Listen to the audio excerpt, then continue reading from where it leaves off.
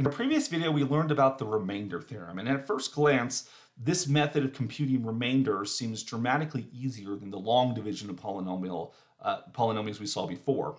Now, the remainder theorem only applied in situations where you had x minus c, and so that's a situation where actually synthetic division came into play, which we saw in that video, and function evaluation might not actually necessarily be more efficient. I argued that if you're evaluating the polynomial at f of c, synthetic division can actually be faster than evaluating the polynomial in general.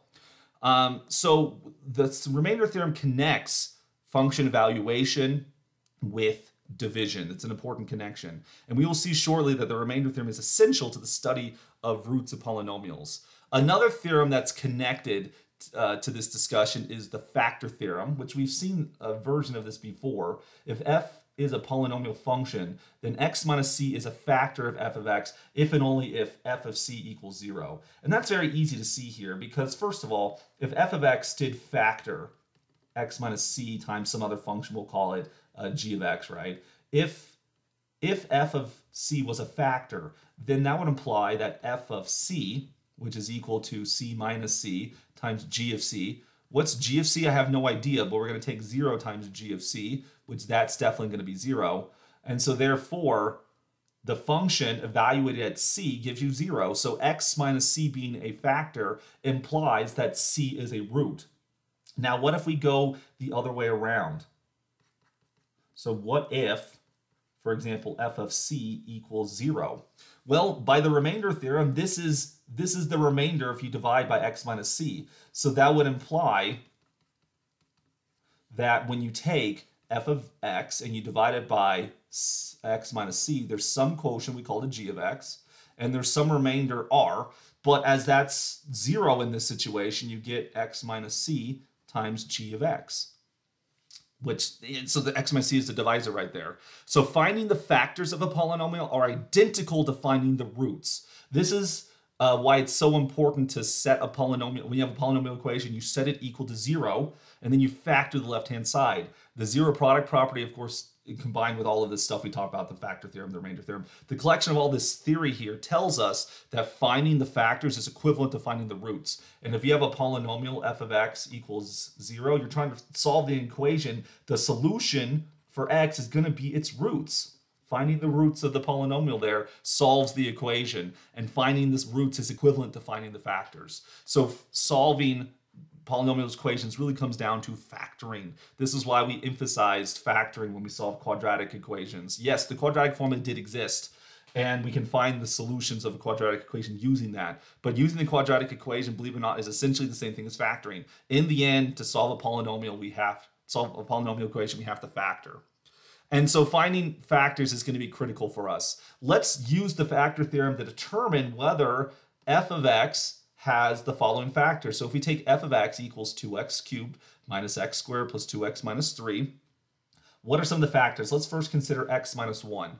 If you want to consider where, whether x minus 1 is a factor or not, my idea is to, to suggest here is actually to do division, and we're going to do synthetic division. So we're going to write down the coefficients of the polynomial in descending order. We take 2, negative 1, 2, and negative 3. And if we're dividing by x minus 1, we're just going to record the number 1 right here. So we get 1, and then we go from there.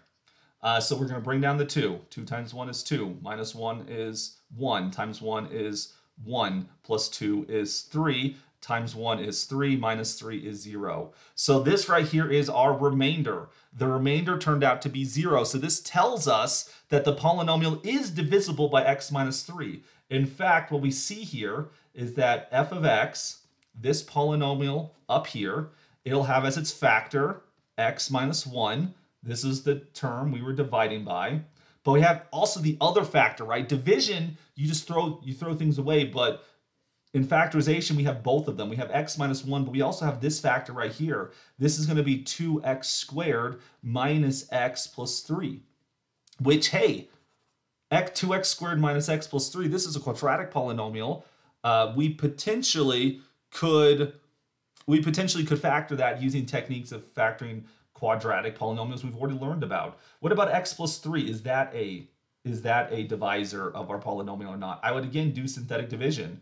You would take 2, negative 1, 2, negative 3.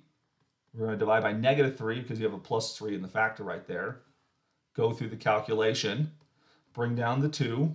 2 times negative 3 is negative 6. Minus 1 is negative 7. Times negative 3 is going to give us positive 21. Plus 2 is 23. And then you take 23 times negative 3. That's going to give you negative 69. Minus 3 gives you negative 72. This is not a factor because this remainder turns out not to be 0.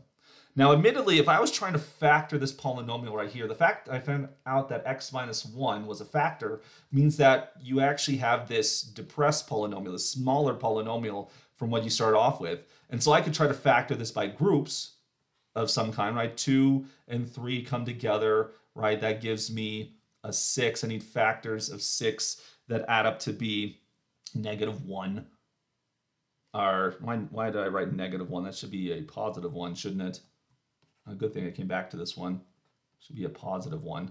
Um, which turns out this polynomial doesn't have any rational factors because we can't find a magic pair. But just to illustrate here that the polynomial has as a factor x minus 1 because its remainder was 0, and it doesn't have x plus 3 as a, as a factor because its remainder was not 0 right there.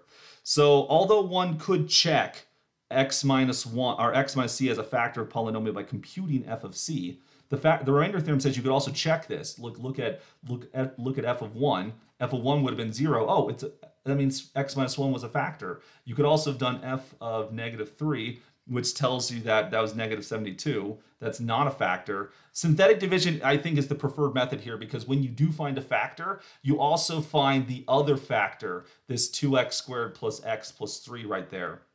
And so that can be critical to helping us here. We want to always shrink things down, and this will become more apparent in future examples. Use synthetic division to find factors and the, the corresponding quotient that comes with them.